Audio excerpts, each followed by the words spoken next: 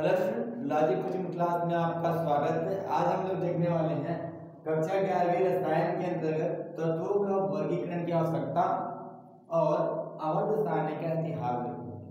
ठीक है? तो सबसे पहले हम लोग देखते हैं तत्वों का वर्गीकरण की आवश्यकता। ये जो है चैप्टर नंबर तीन में आपको मिलेगा तत्वों का वर्गीकरण और उसकी आवर्तिता करके आपको टॉपिक मिल जाएगा। तो मैं आपको बताता हूँ कि अपने पास आवर्त सारणी में अभी तो खैर एक सौ अठारह तत्व तो है, लेकिन इसके इतिहास में जब जाएँगे तो आपको इसकी वर्गीकरण की आवश्यकता महसूस होगी कि भाई इनको वर्गीकरण क्यों किया गया था? तो ये यहाँ पे टॉपिक सबसे पहले निकल के आता है कि तत्वों का वर्गीकरण की आवश्यकता क्यों हुई? तो देखा जाए, अगर इतिहास में हम लोग देखा जाए तो सन अठारह सौ से मैं आपको स्टार्ट स्टार्ट करता हूँ कि सन अठारह सौ में केवल, सन अठारह सौ में केवल इकतीस तत्व ही ज्ञात सन अठारह सौ में इकतीस तत्व ही ज्ञात थे। अब धीरे धीरे क्या हुआ? इन इकतीस तत्वों को अब क्या किया?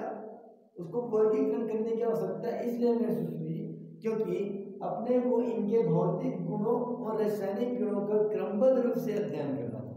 उसको अच्छे से अध्ययन करके हमको ये समझना रहता है कि कौन सा तत्व किसके साथ क्रिया करता है, उसका उसका गलान कितना, उसका क्वथनांक कितना होता है, ये सब हम लोग देखने के लिए इसको समझने के लिए उसको इम्प्लीमेंट करने के लिए हम लोग क्या करते हैं, तत्वों का वर्गीकरण करते हैं, जिससे हमें उस तत्वों के बारे में उसके तत्वों के गुणों, भौतिक गुणों और रासायनिक गुणों के बारे में अधिक से अधिक जानकारी मिल पाए और हम फिर आगे उसके माध्यम से और भी अनुसंधान कार्य या फिर रिसर्च कार्य कर पाए। जैसे कि क्या होता है कि एक लाइब्रेरी में हो, जैसे आप एग्ज़ाम्पल बताता हूँ आपके पास बहुत सारी किताबें हैं।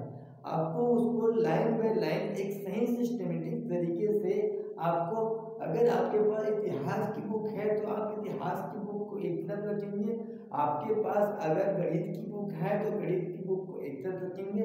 आपके पास अगर फिजिक्स की बुक है तो आप फिजिक्स को एक तरफ़ से इसी प्रकार रसायन की बुक को रसायन की एक तरफ़ अगर वो आप एक साथ मिक्स कर देंगे तो आपको अगर मैं बोलूँ कि रसायन की खोज के लाके तो तो आप उसमें कंफ्यूज हो जाएँगे कि भाई, अपन निकालेंगे कैसे? कि कहाँ से, कहाँ पे खोजना पड़ जाएगा? और उसके बारे में हम सही तरीके से नॉलेज नहीं ले सकते। समझ ही नहीं आएगा कि अपने को कौन सी बुक लेके आनी है, कहाँ से लेके आनी है। इसलिए हम क्या करते हैं हम उसको एक छोटे छोटे समूहों में क्या कर देते हैं, बांट देते हैं, जिससे हमको उसको ढूँढने में भी आसानी हो जाती है और उसको समझने में भी आसानी जाती है अगर जैसे बुक में आपको किसी भी अध्याय को आपको अगर सही तरीके से सीक्वेंस से नहीं दिया जाएगा तो आप उस वीडियो को नहीं समझ सकते। आप उस बुक को नहीं समझ सकते। ठीक है? तो मैं आपको इसलिए क्या होता है कि चाहे मतलब तत्व हो, चाहे दुनिया का कोई भी चीज़ हो, अगर उसकी संख्या जैसे जैसे बढ़ती जाती है, आपको आवश्यकता, आपको उसको वर्गीकृत करने का, उसको बांटने की आवश्यकता पड़ेगी। ठीक है? तो हम इसीलिए तत्वों का वर्गीकरण करने की आवश्यकता हमको पड़ती है। तो हुआ क्या था कि सन अठारह सौ में इकतीस तत्व क्या थे तो इसको वर्गीकरण करने के लिए बहुत सारे विज्ञानी समय समय पर आते गए। तो मैं आपको इसके इतिहास पे लेके चलता हूँ कि हम एक प्रकार से देखा जाए तो अवर्त सारणी के इतिहास पे लेके चलते हैं। अभी जो आधुनिक अवर्त सारणी है, वो आपको कक्षा ग्यारहवीं के आपके पीछे पीछे सबसे पीछे में, पीछे के पेज में आपको मिल जाएगा आधुनिक आवर्त सारणी जिसे हम लोग क्या कहते हैं, जिसे अंग्रेज़ी में हम लोग कहते हैं मॉडर्न पीरियोडिक टेबल कहते हैं। मॉडर्न पीरियोडिक पीरियोडिक टेबल कहते हैं। इसमें आपको कुल मिला के एक सौ अठारह तत्व देखने को मिलेगा। यानी अब तक आधुनिक युग में एक सौ अठारह तत्वों की खोज हो चुकी है और उसमें से कुछ तत्वों की खोज हुई है और कुछ तत्वों को बनाया गया ये भी याद क्या किए इस तत्व में क्या होता है? इस तत्व में तीन प्रकार की चीज़ें पाई जाती है। वो होता है धातु, अधातु और होता है उपधातु तो इनमें भी इसको वर्गीकृत किया गया है उनके भौतिक गुणों और रासायनिक गुणों के आधार पर भी बांटा गया है जिससे हमें उसके, उसको समझने में, उस तत्व को समझने में और उनसे बने यौगिकों को समझने में आसानी होती है। उनको वर्ग में बांटा गया मैं आपको आधुनिक सारणी जब आएगा धीरे धीरे हम लोग इतिहास में इतिहास से आधुनिक में आएँगे तो फिर आपको आधुनिक सारणी अच्छे से समझाने वाला हूँ। लेकिन हम इतिहास में जब आते हैं सन अठारह सौ में तो उस टाइम इकतीस तत्व ही ज्ञात थे तो इनका वर्गीकरण किया गया था, ठीक है? उसके बाद सन अठारह सौ अठारह सौ पैंसठ के आते आते ये जो हो गया था टोटल तिरसठ तत्व ज्ञात हो चुके थे। और अभी आधुनिक युग में अगर देखा जाए, आधुनिक आधुनिक युग में तो अभी अपने को एक सौ अठारह तत्व मिल गए।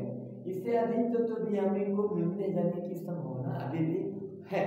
ठीक है तो हम एक सौ अठारह तत्वों को धीरे धीरे क्या करते जाएँगे उसको वर्गीकृत करते जाएँगे। सबसे पहले इतिहास में अगर देखा जाए तो मैं आपको अवध जानने के इतिहास में सबसे पहले वैज्ञानिक का नाम बताने वाला हूँ, जो कि आया था, उसका नाम है न्यूजियर मैंने न्यूजियर के बारे में आपको ये बताया था कि न्यूजियर को क्या कहा जाता है आधुनिक रसायन का जन्मदाता माना जाता है, क्योंकि तो इसी ने किसी भी रासायनिक चीज़ों को अच्छे से क्या किया था, उसको प्रस्तुत किया था। इसलिए न्यूजियर एक ऐसा वैज्ञानिक था, जिसको रसायन विज्ञान का पिता या फिर जनक या फिर जन्मदाता कहा जाता है। ठीक है? तो ल्यूजियर सन अठारह उन्नीसवीं शताब्दी में ही आ गया था। उन्नीसवीं शताब्दी का मतलब होता है कि सन अठारह सौ से उन्नीस सौ के मध्य समझ लो, अठारह में आया हुआ होगा। ठीक है तो उन्नीसवीं शताब्दी में आया और इसने किस आधार पे तत्व को बांटा था? उसने बांटा था तत्व को धातु और अधातु में बांटा था। उस टाइम समझ लो कि अपने पास इकतीस तत्व क्या थे? तो इस इकतीस तत्वों को धातु और अधातु के हिसाब से उसने बांटा। लेकिन अपने पास उप धातु नाम की भी कोई चीज़ होती है तो इसके बारे में उसने कोई जानकारी नहीं दी थी। साथ ही साथ उन्होंने और कई गुणों को शामिल अपने इस वर्गीकरण में नहीं किया था। सिर्फ़ धातु और अधातु के आधार पर कर देने से उस तत्वों की अच्छे तरीके से जानकारी, अभी उसको क्रमबद्ध रूप से हम नहीं समझ पाए, जिससे यह नियम यह जो का जो वर्गीकरण था, ये उतना ज़्यादा असफल नहीं रहा। लेकिन कम से कम उसने तत्वों का वर्गीकरण करके ये बता दिया कि तत्वों का हम लोग उसके भौतिक और रासायनिक गुणों में वर्गीकृत कर सकते हैं इसलिए इसको लेवसियर को हम लोग आधुनिक रसायन के मतलब मान सकते हैं। ठीक है? तो याद रखना कि धातु और धातु के आधार पर क्या किया था? इन इकतीस तत्वों का वर्गीकरण किया था। अब हम लोग जो दूसरा नंबर पे जो आते हैं, वो वैज्ञानिक का नाम है डोबेराइनर। तो डोबेराइनर का त्रिक नियम यहाँ पे बताया गया था उसने, डोबेराइनर का त्रिक नियम। तो डोबेराइनर के त्रिक नियम में नाम से स्पष्ट है, त्रिक मतलब होता है तीन। तो डोबेराइनर ने क्या किया था? तीन तीन तत्वों को, परमाणु भार को लेकर, परमाणु भार को लेकर इसने चला था। जिसको लेकर चला था? परमाणु भार इसने सभी तत्वों के परमाणु भार को नापा और तीन तीन तत्वों का एक सेट बनाया। तीन तीन तत्वों का समूह बनाया। जैसे समझ लेते हैं कि अपने पास तीन तत्व ए किसी पहला सेट बन गया, जिसको जिसको एक पहला त्रिक नाम दिया था। ये त्रिक नंबर वन हो गया, इसको सेट भी कह सकते हो। और समझ लो आपके पास आगे है डी ई एफ़ इसको भी दूसरा त्रिक माना त्रिक नंबर दो, ठीक है? इसी प्रकार तीसरा जो माना था, वो अपना था त्रिक नंबर तीन, जिसको लो समझ जी एच आई तो इस प्रकार से उन्होंने क्या किया था? तीन तीन तत्वों के परमाणु भार को लेकर क्या किया था? उनको, उनका एक नाम दिया था, तीन तीन होने की वजह से इसका नाम त्रिक दिया था। तो उन्होंने त्रिक नियम में ये बताया था कि जो बीच वाले तत्व होते हैं, मध्य वाले तत्व, एक जो मध्य वाला तत्व का परमाणु भार जो होता है, परमाणु भार जो होता है, वो बाकी शेष तत्वों का, यानी पहले और तीसरे तत्वों का, पहले पहले तत्व का परमाणु भार, प्लस दूसरे तत्व के परमाणु भार,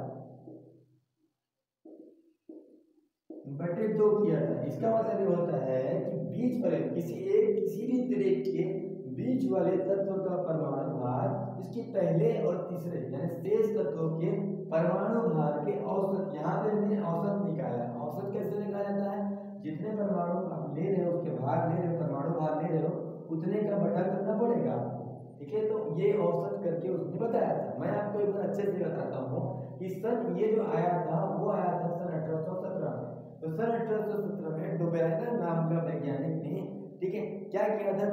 तत्वों के परमाणु भार को लेकर तीन तीन तत्वों का एक ऐसा समूह बनाया था, जिसका नाम उन्होंने लिख दिया था। इस त्रिक नियम के आधार पर उन्होंने बताया था कि किसी भी एक त्रिक, कोई भी एक त्रिक इसमें ले लेता हूँ, किसी भी एक त्रिक के मध्य वाले तत्व का परमाणु भार शेष दो तत्वों के परमाणु भार के औसत के बराबर होता है। ऐसा करके उन्होंने प्रूव किया था। ठीक है? अब ठीक है? इस प्रकार से उन्होंने डोबरेनर का नियम का प्रतिपादन किया था। किसने किया था? डोबरेनर ने किया था। तो ये पेपर के लिए बहुत ही ज़्यादा एग्ज़ाम इम्पोर्टेंट है। ठीक है? उसके बाद आपको अगले वीडियो में और आगे जो जो वैज्ञानिक आते जाएँगे। मैं आपको बताते जाऊँगा। आज मैं कहानी को अधूरा छोड़ रहा हूँ। आवर्त सारणी की इस कहानी को हम लोग अगले वीडियो में आगे बढ़ाते जाएँगे और किस तरीके से इस आवर्त सारणी का धीरे धीरे निर्माण होता जाता है और अंत में अपने पास आता है आधुनिक सारणी, जो कि एक सही तरीके, सही ढंग से, एक सही सिस्टमेटिक तरह से जमा हुआ एक ज़बरदस्त आवर्त सारणी है। अगर आपने आवर्त सारणी को अच्छे से पढ़ लिया तो समझ लीजिए कि आपने पूरे ग्यारहवीं के 50 परसेंट हिस्से को समझ लिया। क्योंकि आवर्त सारणी के बगैर ये पूरा केमिस्ट्री ही अधूरा है। क्योंकि आवर्त सारणी में जितने तत्व आते हैं, सभी तत्वों के बारे में ही जगह जगह बताया जाता है। मैं आपको उसको अच्छे से डिटेल से बताने वाला हूँ। तो इसके अगले कहानी के लिए इंतज़ार कीजिए, और अगर आपको यह वीडियो समझ में नहीं आया होगा तो आप इस वीडियो को रिमाइंड करके देख सकते हैं। अगले वीडियो का इंतज़ार कीजिए। धन्यवाद।